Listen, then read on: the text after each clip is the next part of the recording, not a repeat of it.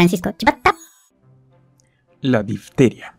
La difteria es una infección causada por la bacteria Corynebacterium diphtheriae o bacilo de Kleff-Lofer. Los síntomas suelen aparecer de forma bastante gradual, comenzando con dolor de garganta y fiebre. En casos graves, se desarrolla una mancha gris o blanca en la garganta. Esto puede bloquear las vías respiratorias y crear una tos seca, como en el croup. El cuello puede hincharse en parte debido al agrandamiento de los ganglios linfáticos. También existe una forma de difteria que afecta la piel, los ojos o los genitales. Las complicaciones pueden incluir miocarditis, inflamación de los nervios, problemas renales y problemas de sangrado debido a niveles bajos de plaquetas, signos y síntomas. Los síntomas de la difteria generalmente comienzan de 2 a 7 días después de la infección.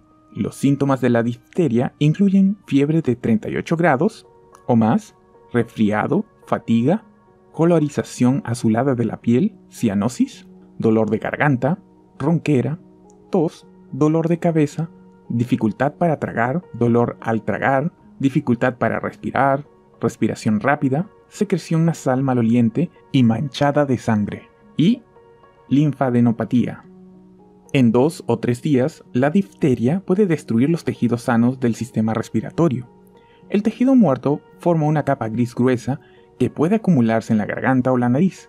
Esta capa gris gruesa se llama pseudomembrana. Puede cubrir los tejidos de la nariz, las amígdalas, la laringe y la garganta, lo que dificulta mucho la respiración y la deglución. Los síntomas también pueden incluir arritmias cardíacas, miocarditis, parálisis de nervios craneales y periféricos.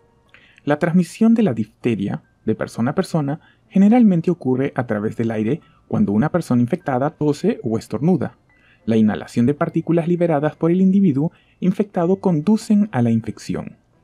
El contacto con cualquier lesión en la piel también puede conducir a la transmisión de difteria, pero esto es poco común. También puede ocurrir infecciones indirectas si una persona infectada toca una superficie u objeto. Ese objeto quedaría contaminado con la bacteria. Prevención. La mejor prevención es la vacuna. Tratamiento. La enfermedad es manejable, pero en casos muy graves, los ganglios linfáticos del cuello pueden inflamarse y es más difícil respirar y tragar.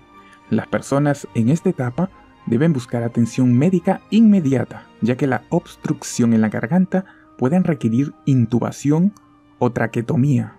Lo mejor que se puede hacer para combatir esta enfermedad es vacunarse.